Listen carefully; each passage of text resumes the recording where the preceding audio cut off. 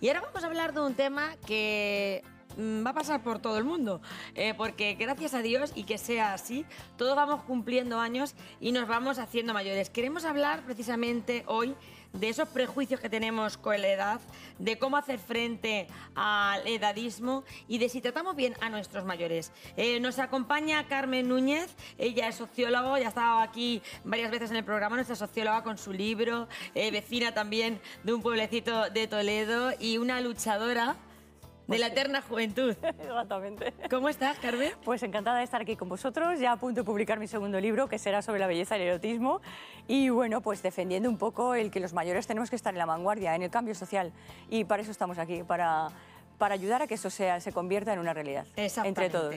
También nos acompaña José María Zarco, él es usuario de una de las residencias de nuestra región. Bienvenido. José María, ¿cómo estás? Bien. Te veo estupendo. Y yo viendo a vosotras más ¿De Socuellamos? De Socuellamos. Socuellamino. Socuellamino de, de raza. De pura cepa. Y guapo. Y también María Ángeles Sánchez, bienvenida. María Ángeles, ella es secretaria de ACESCAN, la Asociación de Castilla-La Mancha de Residencias y Servicios de Atención a los Mayores. Bienvenida. Muy buenos días y muchas gracias. Muchísimas gracias por venir. Os eh, planteo esta pregunta ahora mismo a los tres. Eh, ¿Tenemos eh, prejuicios con la edad desde tu punto de vista? ¿Qué crees? Sí que los hay, los hay muchos. Y yo creo que ello se debe a un profundo desconocimiento, se debe a una gran falta de empatía y se debe a que en ocasiones, en demasiadas, se ridiculiza mucho la vejez, no se dignifica y no se tiene en cuenta ridiculizamos en muchas ocasiones a nuestros mayores. vamos a quedar con esa frase porque también mm. queremos que ustedes participen e incluso también, ya saben que el teléfono está abierto, puedan eh, comentarnos, llamarnos y, decir lo que, lo que piensan. Eh, ¿Tienes ese sentimiento, Carmen? Vamos a ver, yo soy sociólogo, entonces mi enfoque es, mm, creo que a la vejez en general es algo que históricamente se le tiene miedo. Se tiene miedo a la enfermedad, a la decrepitud, se tiene miedo a la muerte. Y esos son elementos de los que no se habla. En nuestra cultura prefieren estar tapados y entonces es mejor no enterarse de que hay dependencia funcional y que al final un 34% de las personas van vamos a tener dependencia funcional, entonces eso se calla y es mejor pan y toros, pan y circo, mm, vivamos de la mejor manera posible. El edadismo existe, y hay que intentar combatirlo, porque no me gusta la palabra, es un término que es inglés, que procede de, de, los ingleses, a mí me gusta llamar discriminación. Hay discriminación real hacia los mayores en muchísimos aspectos, desde que no te elijan en el trabajo hasta que no tengas una, unas, condiciones, eh, unas condiciones amigables para poder ir en silla de ruedas. Por Se lo vamos a preguntar a nuestro testimonio a José María. José María Zarco, que tiene 82 años. Sí. Lleva viviendo en una de las residencias de Accescan desde hace 12 años. 12 años. Por tus circunstancias personales, tú no tienes familia, tenías una hermana que estaba contigo, pero tu hermana ya, ya, no está. falleció, sí. ¿Y tu familia? Pues es Accescan. Es esta. esta que ves por aquí es mi familia. ¿Tanto tiempo llevas en silla de ruedas? Pues eh, si llevo 12 años ya, pues 11. 11 años. ¿A consecuencia de qué? De cortarme de, azúcar, un poco de azúcar. niveles descontroladores de azúcar que provocaron que finalmente... Y, tuve suerte porque me pillaron a tiempo. A tiempo. Y no me... La diabetes, que es importante controlarla, los niveles de azúcar. Es lo principal. Eso, también, eso también eso le decimos a, nuestro, a todos, que vamos cumpliendo años, con los años empezamos a, pues a empezar a tener esos análisis que van cambiando. Enfermedad subclínica. Exactamente, empieza el colesterol, empieza la diabetes, que tal mala es la 2 como la 1, que la 1 es la que al final está controlada porque llevas tu sensor, pero la 2, como no llevan el sensor, no se controlan tanto, picos de glucemia descontrolados y al final... Bueno, aquí problemas. yo la llevo controlada porque me la controlan. Aquí ah, ahí estamos, tu familia te está controlando. o sea, eso es... ¿Tú te sientes discriminado como mayor, lo que estamos diciendo? Nada, nada, yo no. Porque en tu, en tu casa, que es eh, tu residencia, donde estás con Todo tu gente... Lo contrario. No puedo dar más que darle la enhorabuena por lo que me cuidan a mí. ¿Cómo es tu día a día allí, José María? Día allí, pues, desayuno y como tengo la silla eléctrica, Pues me gusta que me dé, como es muy del campo, me gusta y Has me voy al campo, campo. Me voy a ver el campo. Te vas al campo con tu sillica. Tú tienes libertad para salir Sí, y entrar sí, cuando Es quieres. verdad, ahí tengo, tengo que darle las gracias también a ellos porque me lo dan.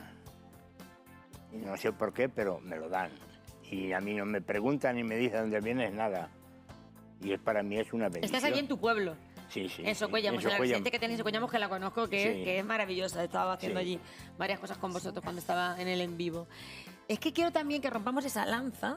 eh, aquí lo hacemos siempre a favor de las residencias, porque todavía tenemos que escuchar algunas veces mm, frases como: si te portas mal, te llevo al asilo. Eso hace mucho daño, ¿eh? Aquí por lo menos yo no lo he sentido. Esa es una forma de, de edadismo, esa es una forma de naturalizar discursos, comentarios y mensajes que para nada son naturales. Y yo quiero poner un ejemplo, si con los avances que como sociedad estamos alcanzando, hay mensajes dichos eh, dirigidos hacia mujeres que nadie eh, consentiríamos y con razón, porque son inaceptables en nuestra, en nuestra sociedad. ¿Por qué tenemos que dar por buenos mensajes como si te portas mal te lleva a una residencia? ¿Por qué tenemos que dar por bueno el no dejar que las personas mayores finalicen una frase, expresen sus gustos por sus relaciones afectivas, personales, sexuales inclusive? ¿Por qué cuando vamos a una consulta, eh, bien sea médica o de otro tipo, se le pregunta al acompañante y no al mayor?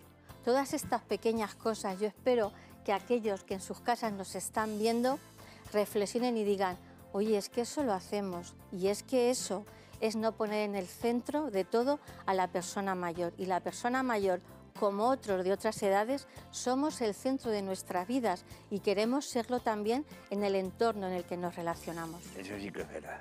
Eso es verdad total. O sea que se está haciendo todas esas cosas. Yo lo digo por mí. Yo para mí es que como un- es un, un ejemplo. A mí nadie me ha podido decir, "Eh, José María, ¿cómo está? Porque me preguntan mucho. Eso sí, y ellos lo saben. Yo digo que estoy en mi casa no podía haber estado mejor, porque no tenía los elementos que tengo aquí. Mm, Los elementos que yo tengo Claro. aquí en mi casa no podía tenerlos. posible. En tu situación Claro. te han dado el lugar que tenías que tener.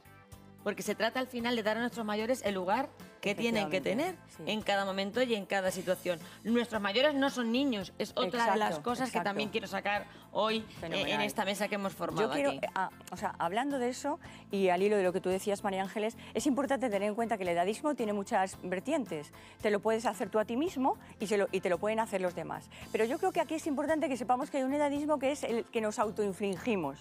Yo ya no valgo, yo ya no puedo, como... ¿Pero somos nosotros o es la sociedad No, la que es nos que son hace- dos tipos, son, son dos tipos de edadismo. Uno es el que te hace la sociedad externo, como por ejemplo que una prima de seguros eh, médicos valga más cara para un mayor que para una persona que es joven, eso es un edadismo.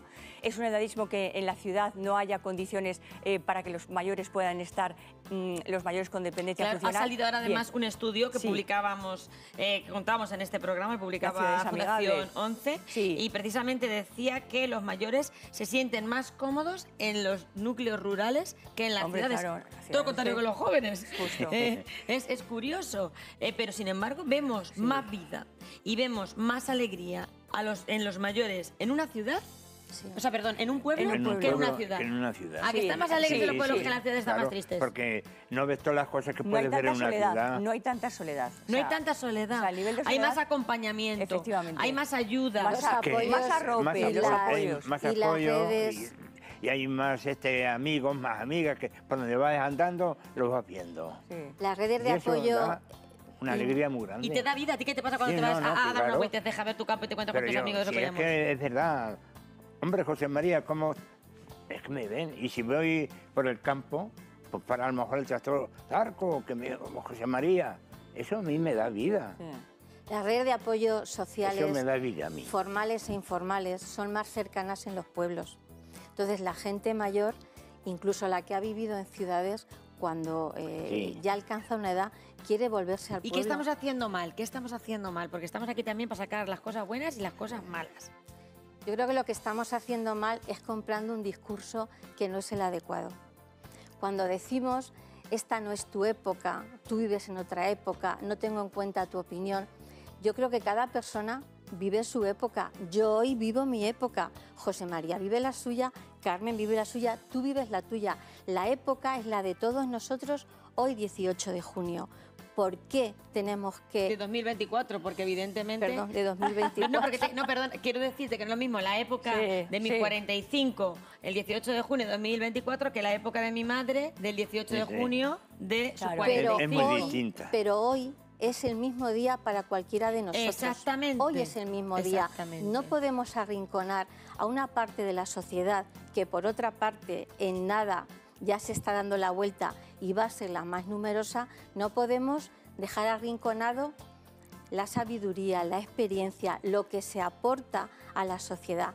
Edadismo también es no combatir contra la idea totalmente equivocada de que sumar años es malo, porque sumar as- años es bueno, es muy bueno, y tenemos que crear esa conciencia Claro, de que quitarnos ya la- esa Sí. manía de no me quiero hacer viejo. Que, ¿a qué- eh, ¿Cuántas veces hemos escuchado Sí, eso? sí, sí, es yo la verdad es que yo a mi abuelo nunca le escuché decir yo no me quiero hacer No, viejo. efectivamente. O sea, Y mi es- abuelo nunca dijo, yo no me quiero hacer viejo. Eso. Sí, ya mis padres, curiosamente.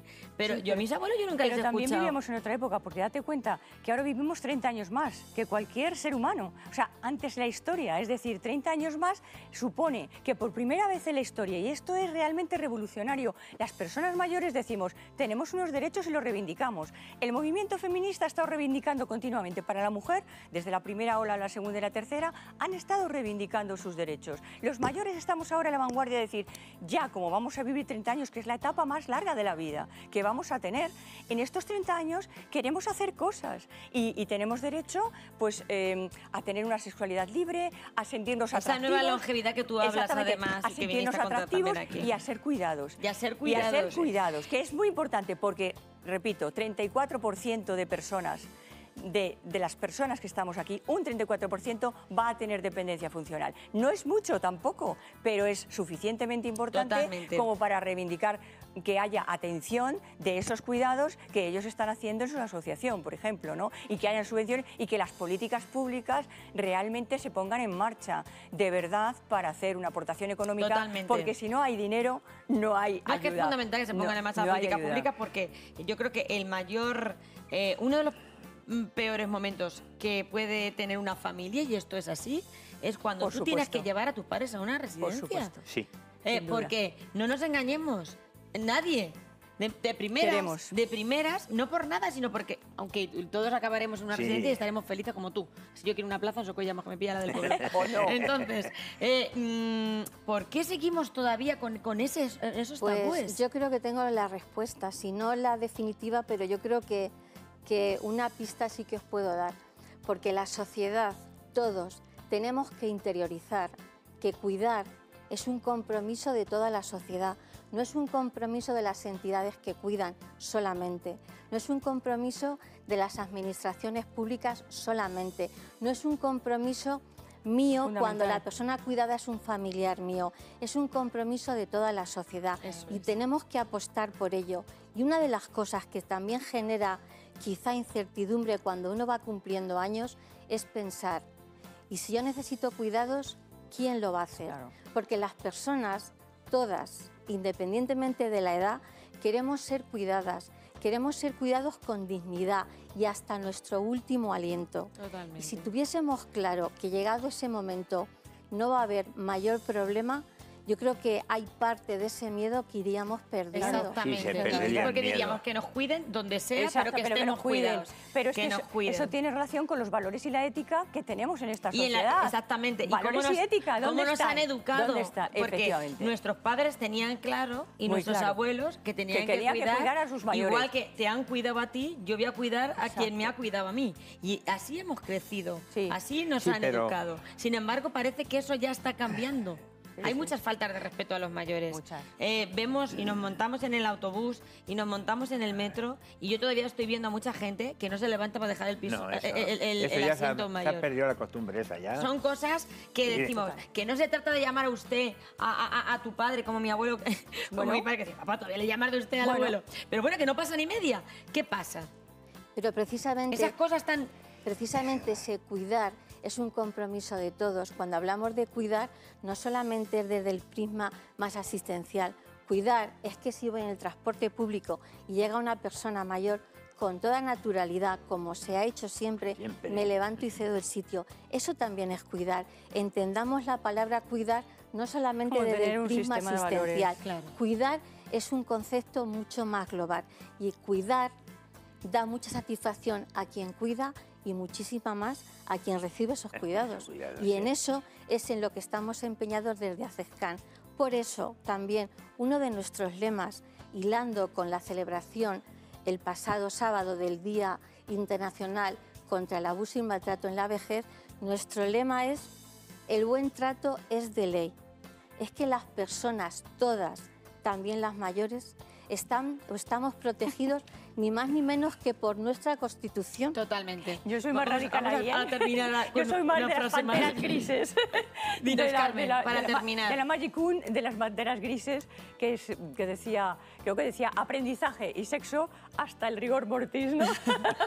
Entonces yo creo realmente que... Nuestra Carmen hay quiere que los mayores sigan a- Hay que ir a la revolución. porque pleno lo rendimiento, que tú como dices, tiene que María ser. Ángeles, Si es que escucha, debe de ser así, si lo no, que Como tiene que lo que perdidos. es- está muy bien, pero no se cumple. Es decir, o vamos a las barricadas y realmente cogemos la chupa y decimos, Para eso vamos estamos a pelear, aquí. Pero para eso Para eso estamos, estamos para aquí. luchar para pelear. distintas generaciones, Pero para distintas edades, no- no una ma- televisión pública Exacto. y un testimonio que quiero que termines tú Exacto. diciendo algo a los mayores que te están viendo. José María, Zarco. Pero es que hay que luchar, pero para sí mismo y, para los demás. Respeto, como decía Aretha respeto. Franklin, respeto. que eso es muy bonito. Yo lo digo por mí. Pero que gracias a Dios me tienen un respeto. Por donde vaya. Esa es la canción que tenía que poner aquí, Y respeto. eso me siento orgulloso, como me siento orgulloso de estar aquí con ellos. Y también. orgullosos y sí. de tenerte hoy aquí. Sí. Gracias como ejemplo de tantas personas que nos están viendo desde su Y tú, casa. Julia, por traernos. Gracias, de y verdad. Julia, de verdad, por traernos Gracias, y Carmen, nuestra permitirnos, estar aquí en, Gracias. las Y barricadas. gracias a María Ángel, secretaria de. Muchísimas gracias a, A los ti, tres. Y ojalá de todo lo que aquí se ha dicho aprendamos esa lección tan importante que yo creo que se resume en la palabra con la que hace José María. Pero también gracias a Respeto. vosotras. Respeto, la, la, la Aretha Gracias a vosotros. Que nos tenemos, nos tenemos que ir, José María. Venga. Que tenemos la crónica que está ya. ¡Qué bueno! Selena García, cuéntanos. Bueno.